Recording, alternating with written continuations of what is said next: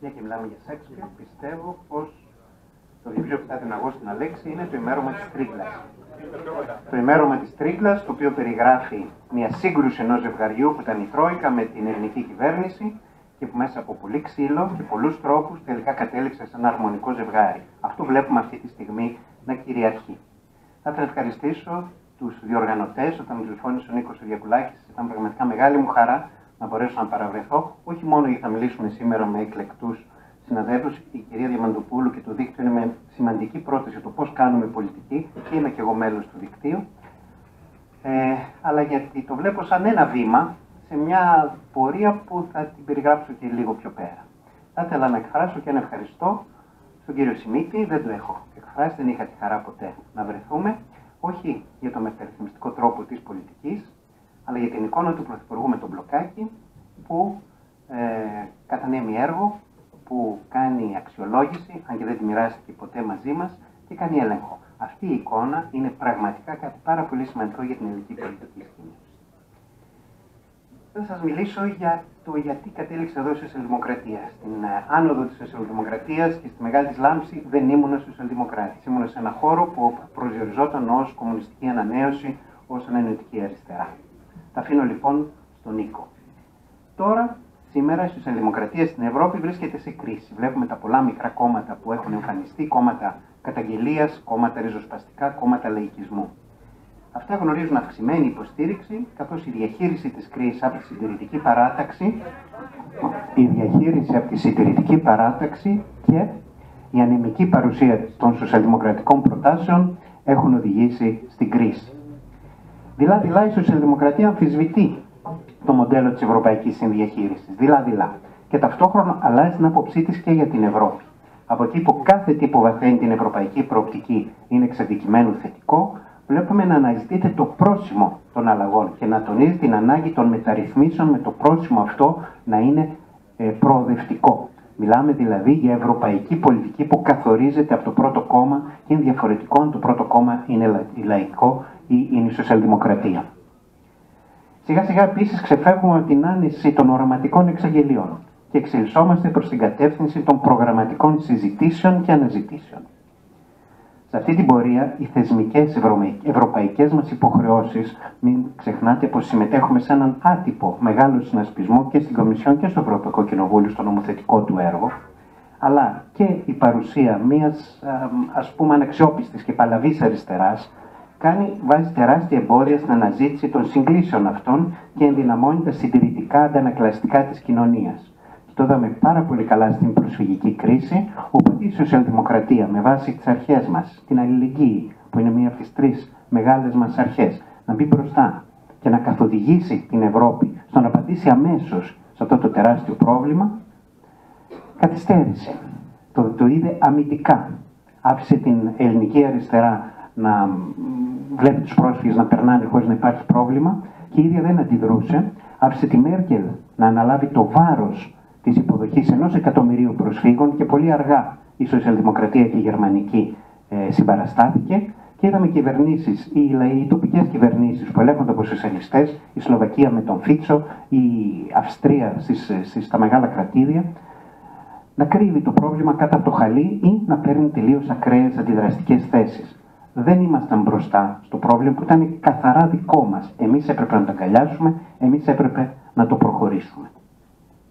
Όμως η δύναμη της Ευρωπαϊκής Σοσιαλδημοκρατίας εμφανίζεται όταν επιβεβαιώνει τις αξίες της, καταφέρει να συγκεντρώσει στο πυρήνα της δυνάμεις με πολλές και διαφορετικές απαντήσεις στα προβλήματα της κοινωνίας. Το χωνευτήρι αυτό μπορεί να δημιουργήσει τελικά πιο αξιόπιστες και ρεαλιστικές προτάσεις.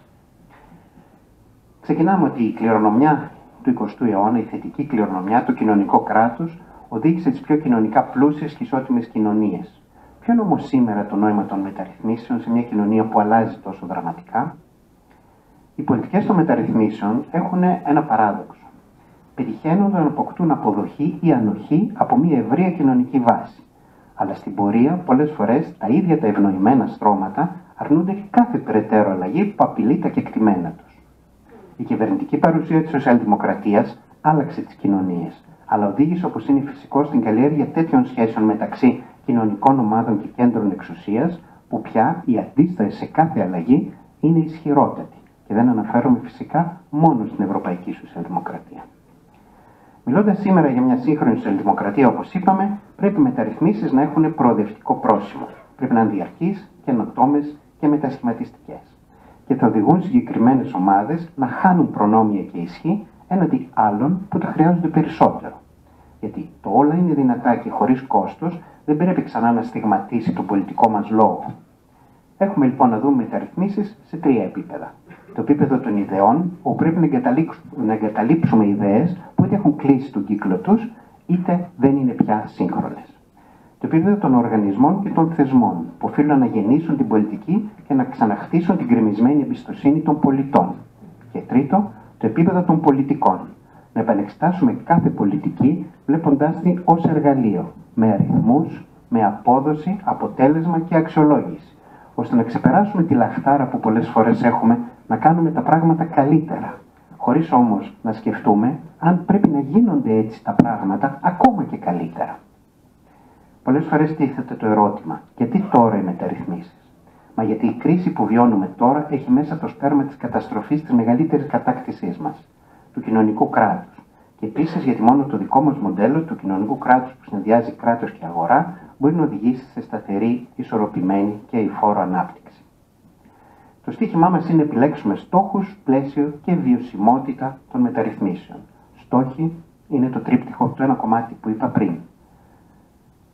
Είναι η ελευθερία, η ισότητα και η αλληλεγγύη. Από εκεί πρέπει να ξεκινάμε και αυτή είναι η στόχη μας. Το δεύτερο, το πλαίσιο, να επανεξετάσουμε τους παράγοντες που επηρεάζουν τις δράσεις μας, τους πολίτες, την αγορά και το κράτος. Να πάψουμε να θεωρούμε τους πολίτες κακομαθημένα παιδιά που πρέπει να τους κάνουμε τα χατήρια και να πάψουμε να θεωρούμε τους οικονομικούς παράγοντες, να τους χωρίζουμε σε καλούς και κακούς, ανάλογα με τη σχέση και τη διαπλοκή που έχουν με το κόμμα μας ή το κράτος το οποίο ελέγχουμε. Και τρίτο, να μιλήσουμε για να μετασχηματίσουμε το ίδιο το κράτο.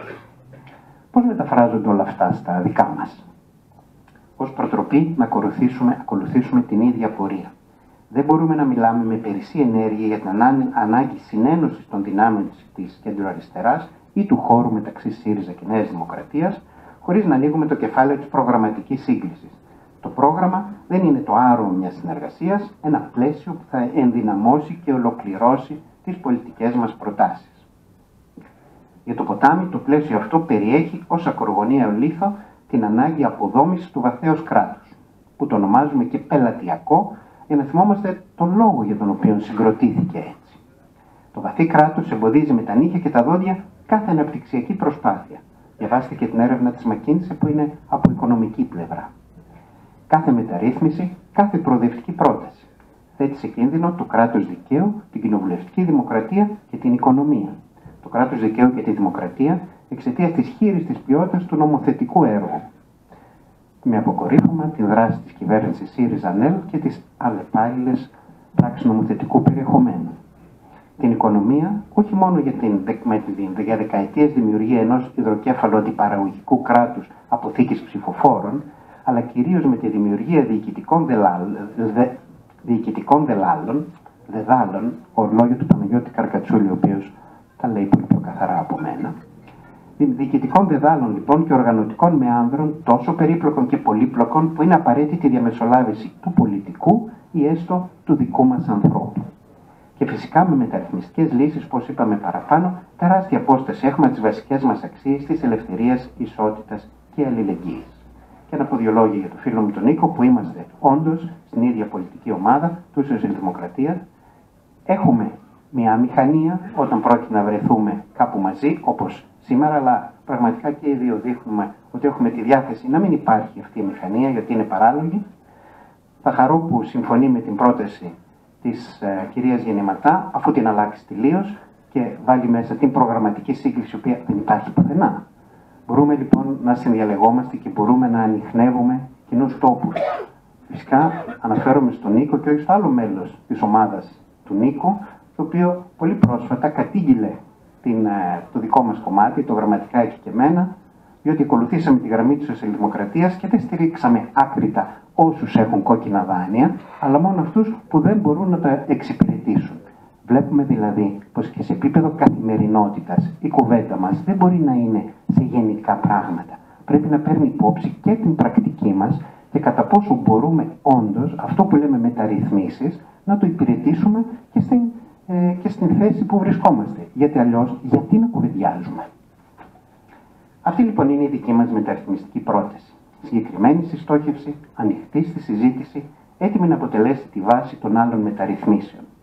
Γιατί εδώ δεν μιλάμε μόνο για την ανασυγκρότηση της δημόσιας διοίκησης, έτσι γενικά και αφηρημένα, αλλά για τη ρήξη με την ίδια τη λογική δόμησης του πιο αντιπαραγωγικού και διαφθαρμένου κράτους της Ευρωπαϊκής Ένωσης.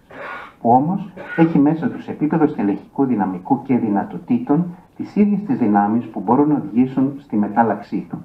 Τι λείπει όμως γι' αυτό, η προγραμματική σύγκληση και εμβάθυνση του σχεδίου αυτού, η επέκτασή του σε όλους τους τομείς πολιτικής, η συγκρότηση ενός κόμματος θα μπορέσει να το θέσει ως πιστική κυβερνητική πρόταση. Το ποτάμι φιλοδόξησε να λειτουργήσει ως καταλήτης της προσπάθειας αυτής. Χαμένο στην ανάγκη διεκπαιρέωσης της ασφικτικής πολιτικής καθημερινότητας και με ελάχιστους πόρους σε πολιτικό προσωπικό, φάνηκε να χάνει αυτή τη στόχευση. Ευελπιστώ πως στο συνέδριό μας θα πιάσουμε ξανά αυτό το νήμα. Όχι μόνο γιατί δεν θα έχουμε άλλη ευκαιρία, αλλά κυρίως γιατί δεν βλέπω καμία άλλη δύναμη να αναλαμβάνει να οδηγήσει τη μεταρρυθμιστική αυτή προγραμματική συζήτηση, αναβάλλοντας για λίγο αργότερα την αναζήτηση αρχηγών, σωτήρων ή οχημάτων. Ευχαριστώ.